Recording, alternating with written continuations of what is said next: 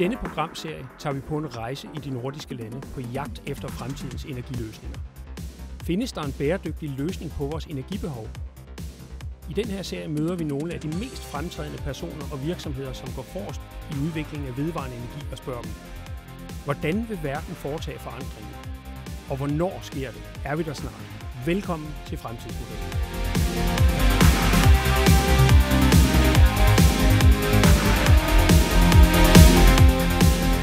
Jeg har i dag fornøjelsen af at besøge dig her på den norske ambassade i Danmark, Katja Nordgaard, øh, for at tale om det her spændende emne med vedvarende energi, mindre eller større forsyningssikkerhed. Øh, og mit første spørgsmål til dig, det er egentlig i din rolle som norsk ambassadør i Danmark. Hvordan ser du øh, energisektoren ser ud i fremtiden? Først vil jeg også understreke det du sier, betydningen av fornybar energi, som vi sier, vedvarende energi, eh, som vi jo allerede over lang tid har hatt et fokus på eh, i lys av FNs klimamål og behovet for å omstille oss fra eh, olje og gass til fornybar. Eh, det er jo nå blitt ekstra eh, satt lys på i forbindelse med krigen i Ukraina, og vi skal nå gjøre en ekstra innsats. Eh, og, og, det er jo på en måte eh, ingen lenger som setter spørsmålstegn ved om at vi må legge om til alle de fornybare energikildene vi kjenner til, som sol og vind, vannkraft har vi allerede, og ta i bruk nye teknologier. Eh, Så, så fremtiden er fornybar. Eh, Spørsmålet er bare hvor fort vi kommer dit. Er det noen specielle øh, sektorer, som du ser er, er relevante for Norge og Danmark?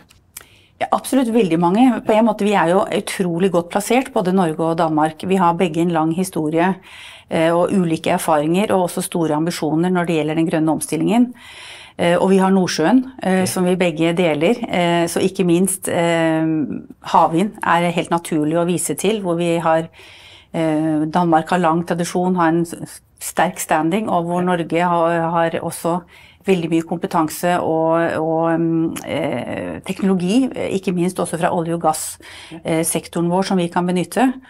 Og I tillegg til, til havvind så har vi jo det spennende området karbonfangst og -lagring, CCS, som, hvor jo Nordsjøen er helt unikt eh, posisjonert. Så Danmark og Norge er øh, forskellige landestørrelser, øh, men også det, at, at Danmark jo er lavvandet kystområde, øh, og derfor er energiøerne særligt relevante i Danmark. Øh, en måde at lave bundfast vindenergi, hvis man kan kalde det det. Hvor Norge er jo mere dybt vand, øh, og det, det rummer måske nogle andre muligheder.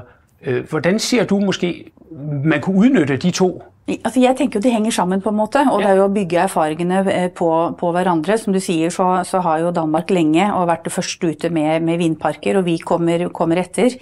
Men, men det er begrenset med, den, eh, med, med lavvannsområder hvor man kan lage den type eh, vindparker. Så på sikt så er jo flytende havvind eh, en, en, også en del av løsningen. Det er fortsatt eh, forholdsvis dyrt, men, men vi har, eh, Norge har en, den første flytende havvindmøllen eh, opp å stå.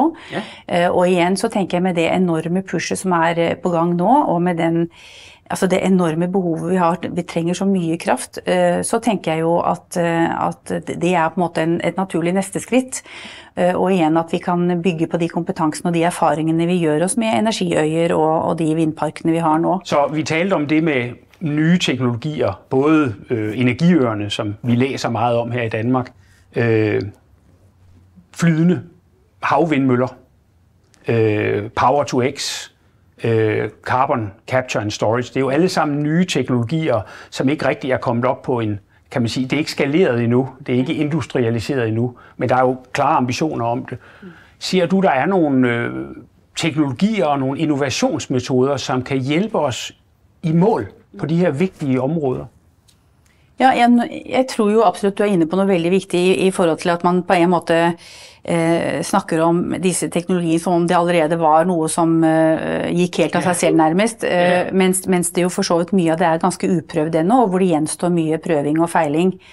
Og det er klart at eh, Det har vi også sett fra, fra når vi bygget opp olje- og gassnæringen. altså Betydningen av å bruke artificial intelligence, digitale tvillinger og simulering i forhold til å kunne eh, på en måte forutse hva som, hva som, kommer, hvordan ting vil fungere. Og det selvfølgelig å teste uten å måtte gjøre det liv, eh, real life, er jo utrolig, en, en utrolig viktig del av det arbeidet som skal skje fremover. Absolut. Det, det, jeg kan kun være enig. Det er billigere å gjøre det digitalt enn committe det i stål. Ikke sant? Positivt sett, alle s-erne på hånden, så det er, det er vel bare å sette i gang. Ikke sant? Ja, jo, men det er jo sånn.